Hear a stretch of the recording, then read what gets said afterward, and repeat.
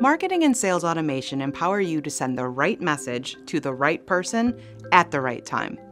This entire course will focus on how to do just that using segmentation. Your contacts have different interests, different habits, and different expectations. Segmenting your marketing and sales efforts personalizes your approach.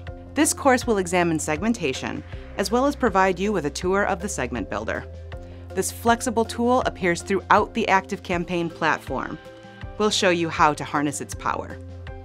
In this course, we'll cover what is segmentation? It's a popular term in marketing, but we'll dig into what it is and why it's important. Next, we'll cover segmentation methods, contact management tips, and discuss the many ways you can target the right contacts. You can't segment without information. We'll walk through collecting and using segmentation data, touching on the various ways to learn more about your contacts. Then, we'll take a tour of the Segment Builder and check out the multiple locations it appears in the platform.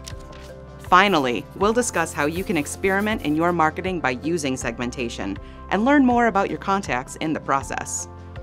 If you're still watching, I'm going to sort you into my interested segment. Maybe that joke will be funnier after you finish this course, but probably not. Anyway, let's get started.